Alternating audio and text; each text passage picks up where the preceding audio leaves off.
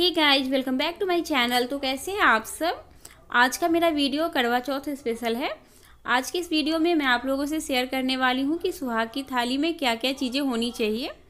तो सबसे पहले मैं आप लोगों को बता दूँ कि सुहाग की थाली पूजा के बाद हम अपनी सास को देते हैं। अगर आपकी सास नहीं है तो आप किसी भी सुहागन को दे सकती हैं। वैसे देने को तो आप बहुत चीज़ें दे सकते हैं, लेकिन जो चीज़ें इंपॉर्टेंट है वो मैं यहाँ पर शेयर कर रही हूँ। तो सबसे पहले यहाँ पर मैं आप लोगों को साड़ी दिखा रही हूँ। साड़ी के साथ पेटीकोट और ब्लाउज भी है। अगर आप सक्षम नहीं हैं तो आप सिर्फ़ ब्लाउज का कपड़ा भी दे सकते हैं। इसके बाद सुहाग की थाली में फल रखना होता है। आप कोई भी पाँच फल रख सकते हैं।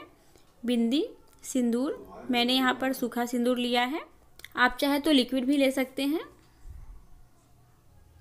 इसके बाद मैंने लिया है नेल पेंट, चूड़ियाँ, या फिर आप लहठी भी दे सकते हैं। इसके बाद फेस क्रीम, आपकी सासू माँ जो भी क्रीम लगाती हैं, आप दे सकते हैं।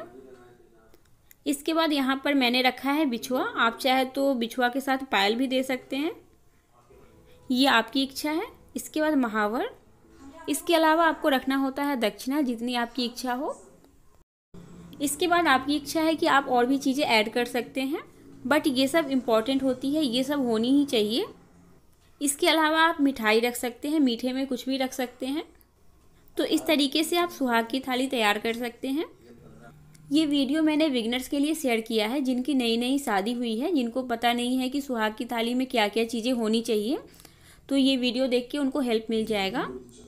सो so गाइज़ ये था मेरा आज का वीडियो। कैसा लगा कमेंट करके बताइएगा। अच्छा लगा हो तो वीडियो को लाइक ज़रूर कीजिएगा शेयर कीजिएगा।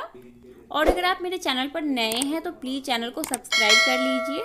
और सब्सक्राइब करने के बाद एक घंटी का बटन आएगा, उसको भी प्रेस कर दीजिएगा ताकि आपको मेरे आने वाले हर वीडियो का नोटिफिकेशन मिल पाए।